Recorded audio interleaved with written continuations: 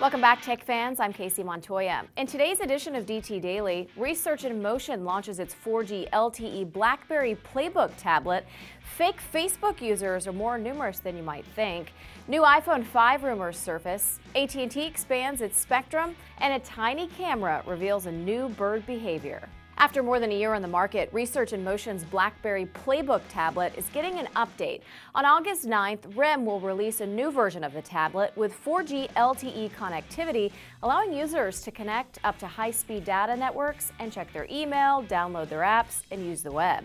The new tablet will launch on all three wireless carriers in Canada first, but RIM expects the U.S. to release it in the coming months. Facebook's SEC filing for the last quarter has been published online, and CNET has discovered some interesting news.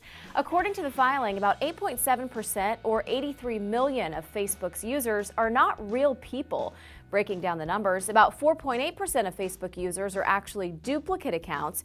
2.4% are misclassified businesses or other entities that aren't actually people, like a family dog. And 1.5% are spammers who create accounts for malicious purposes. Facebook's total number of users now tops 955 million.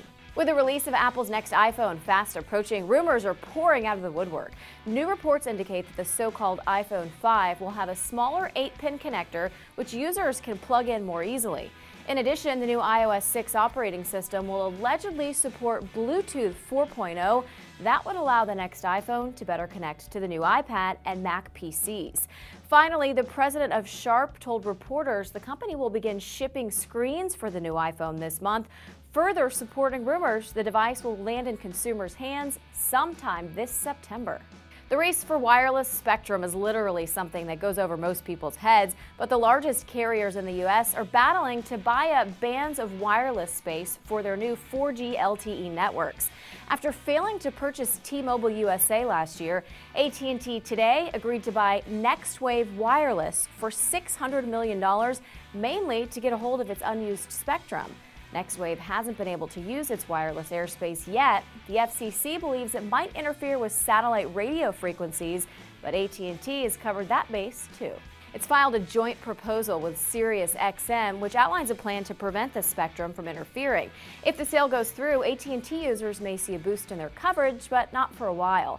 It could take at least three years before the spectrum could be used. Researchers from the Wildlife Conservation Society recently strapped a tiny remote camera to the back of an imperial cormorant seagull, which allowed them to witness an amazing sight a stunning 150-foot dive underwater off the coast of Patagonia.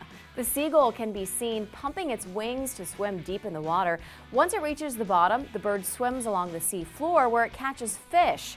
The behavior has never been witnessed before, and the 80-second dive far outlasts the 70-second duration, which scientists previously believed was the longest birds could stay underwater. That's it for today. If you're a PC gamer but feel stuck on a desktop, check back with Digital Trends later today for our review of the Alienware M14X, a sleek mid-size gaming laptop that lets you bring your games wherever you go.